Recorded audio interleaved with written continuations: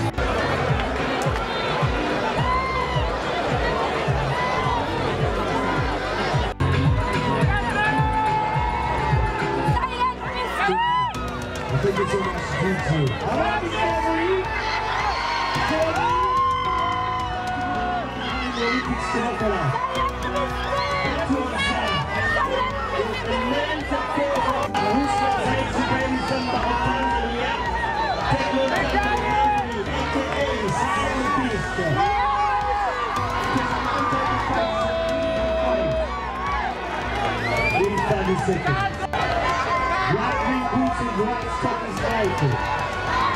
Round one by knockout.